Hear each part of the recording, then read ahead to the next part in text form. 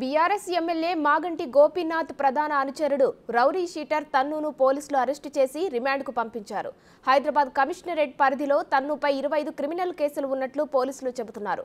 కత్తులు కర్రలతో దాడి చేసి బెదిరించినందుకు అతనిపై ఆర్మ్స్ యాక్ట్ కేసును మధురానగర్ పోలీసులు నమోదు చేశారు. మరోవైపు రెండు వేల ఇరవై మూడులో నలుగురు యువకులను చితకబాదిన ఘటనపై సుమోటో కేసు నమోదైనట్లు పోలీసులు తెలిపారు.